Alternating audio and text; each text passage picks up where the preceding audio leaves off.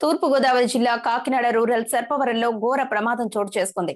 టైకీ chemical ఇండస్ట్రీస్లో air gas leak అయ్యి ఇద్దరు మృత్యువాత పడ్డారు.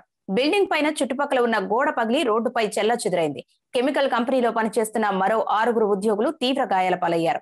క్షతగాతులను వెంటనే ఆసుపత్రికి తరలించారు. గ్యాస్ లీకేజ్ వల్లే ఈ ప్రమాదం జరిగిందని నిర్ధారించారు.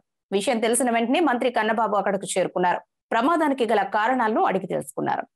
కాదండి ప్రమాదం జరిగింది. ఇద్దరు ఇద్దరు చనిపోయారు ఇద్దరు డెత్స్ ఉన్నాయి? ఇంకా ఎంతమంది ఇంజూర్ అయ్యారు? ఇంకెవరైనా లోపల ఏమైనా సీరియస్ అయ్యారు?